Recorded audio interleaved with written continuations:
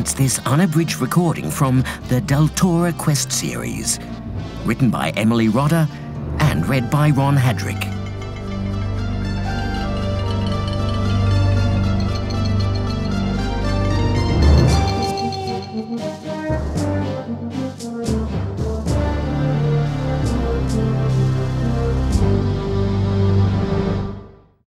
Book 7 The Valley of the Lost Chapter 1 Night Terrors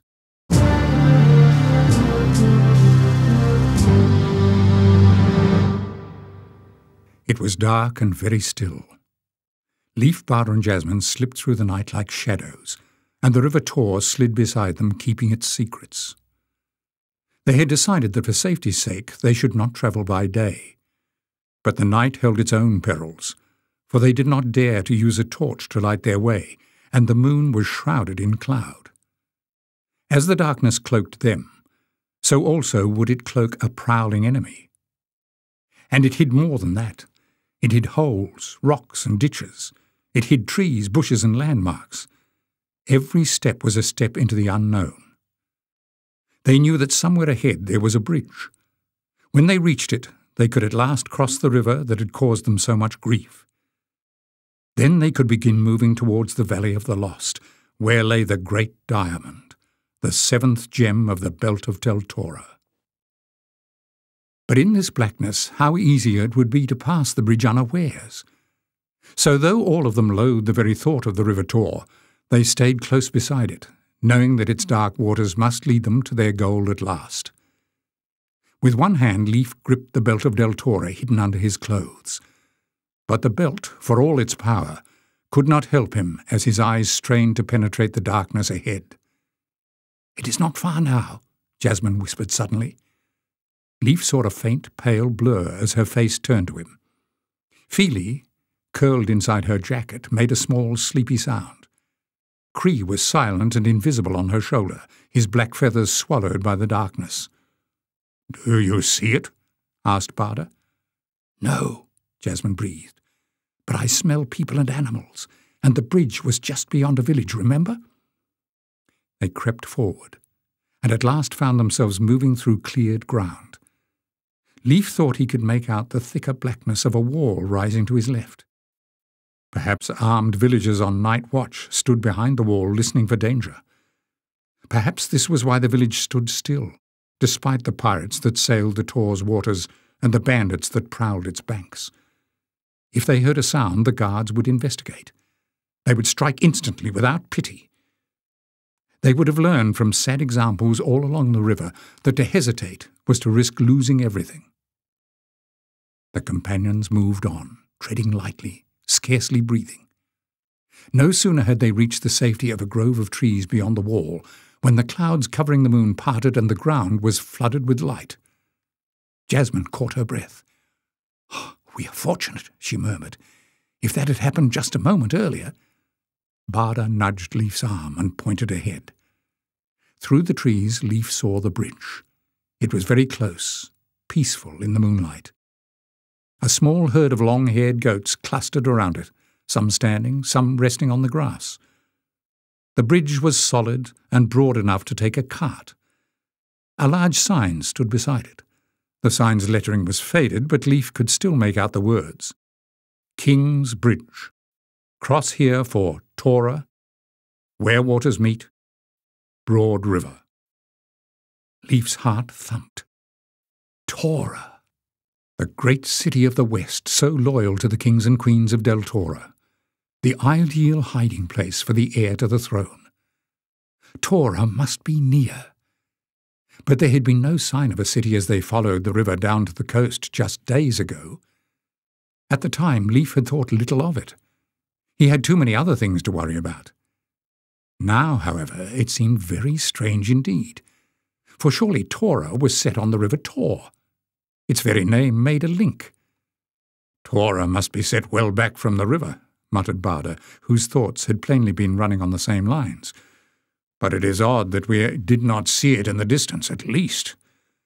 Lief nodded, still puzzling over the mystery. Perhaps we passed it at night, and it keeps no lights. In any case, we may yet be able to visit it on our way to the Valley of the Lost.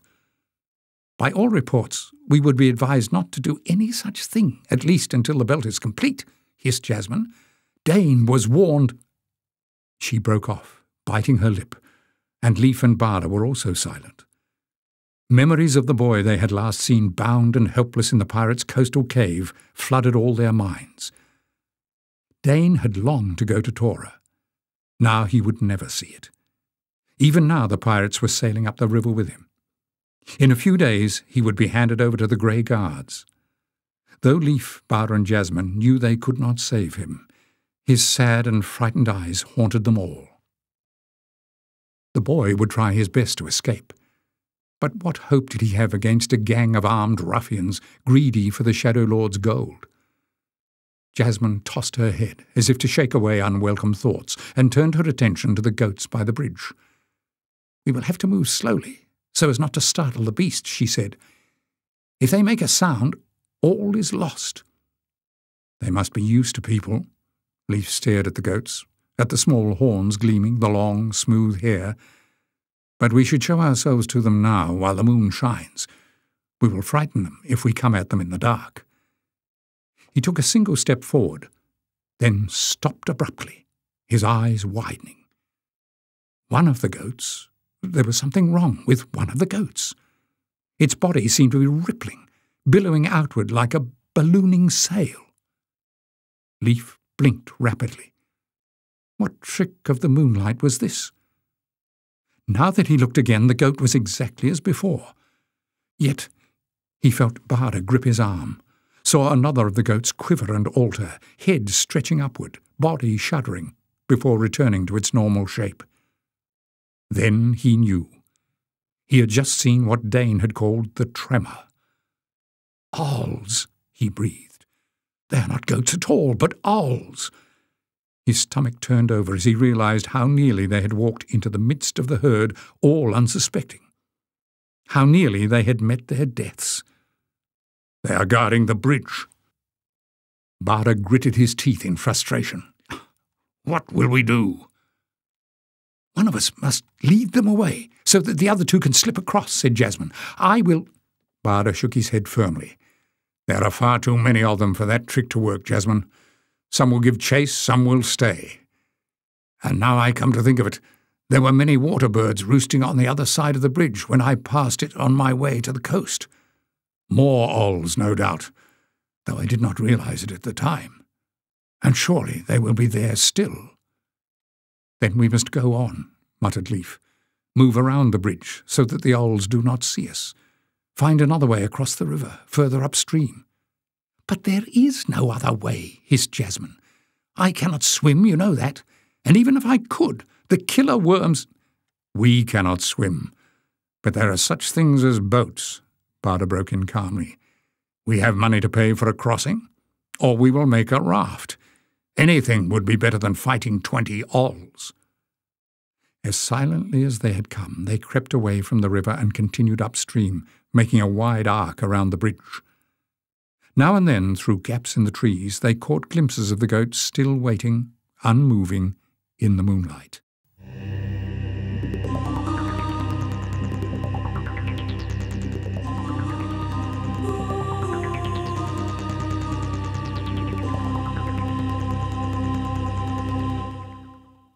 When dawn broke, the sun struggling to shine through a blanket of cloud, the village and the bridge were far behind them. They stopped to eat and rest, huddling together beneath a group of ragged bushes. Kree took flight to catch insects and stretch his cramped wings. Leif had first watch. He wrapped his cloak around him and tried to make himself comfortable. His eyes were prickling, but he was not afraid that he would fall asleep. His body was jumping with nerves. Time crawled by. Kree returned and went to roost low in one of the bushes. Sulky dawn gave way to dull morning. Clouds hung low above Leif's head, thickening by the moment. We will have rain, he thought dismally. Scuttling animals had made narrow paths through the greenery, but there were no animals to be seen now, and for this Leif was grateful. Every living thing was suspect in a place where Ols prowled. And Doom claimed that there were Ols who could take the form of things that were not living. Grade 3 Ols, the perfection of the Shadow Lord's evil art. If the tale was true, and such beings really existed, the very bush on which Kree perched, or the pebble at Leif's feet, could be a secret enemy. At any moment a horrible transformation could begin. At any moment, a white, flickering spectre with the Shadow Lord's mark in its core could rise and overwhelm them. Nowhere was safe. Nothing could be trusted. Leif licked his lips, fought down the dread that clutched his heart. But still his flesh seemed to tremble on his bones. He slipped his hands under his shirt and felt for the belt of Deltora heavy at his waist. His fingers moved to the sixth stone the amethyst. As they rested upon it, as its magic flowed through him, the trembling slowly ebbed. Somehow we will find a boat, he told himself. We will cross the river. Our quest will continue. We will survive. But still he could not rid himself of the feeling that they were caught in a net, a net that the Shadow Lord was slowly, slowly drawing in.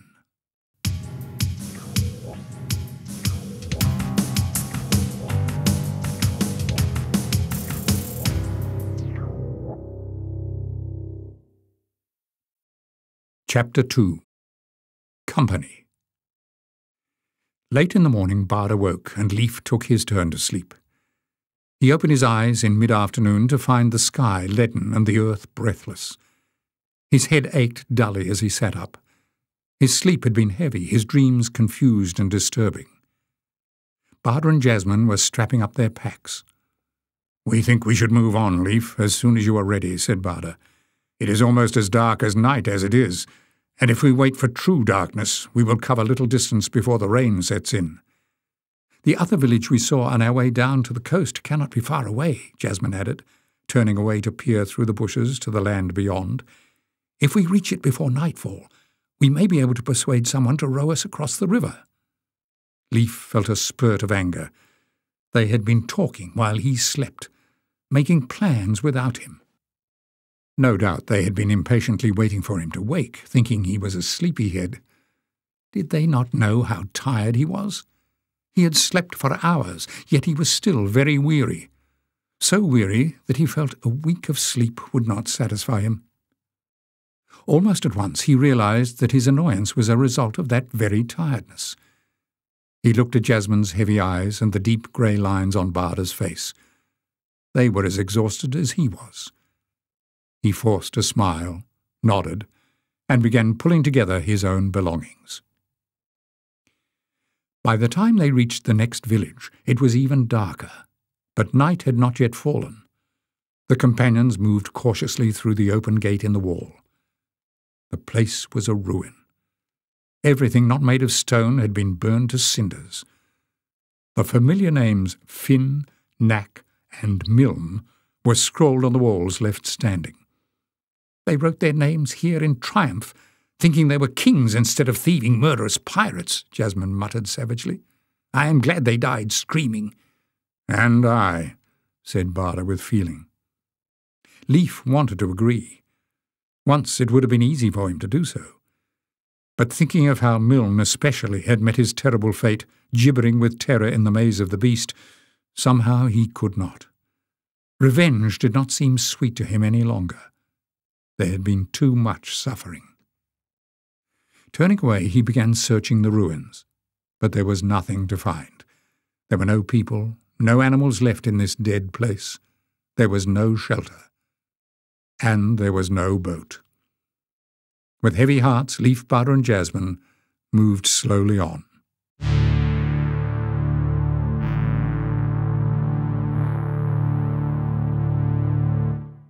The rain began at midnight.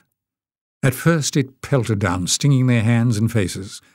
Then it settled into a steady stream that soaked them through and chilled them to the bone. Kree hunched miserably on Jasmine's shoulder. Filli, bedraggled, hid his head inside her jacket. They plodded through mud and darkness, trying to keep alert, watching for anything that would help them cross the river. but there were no trees, only low bushes. There were no logs or planks washed up on the shore.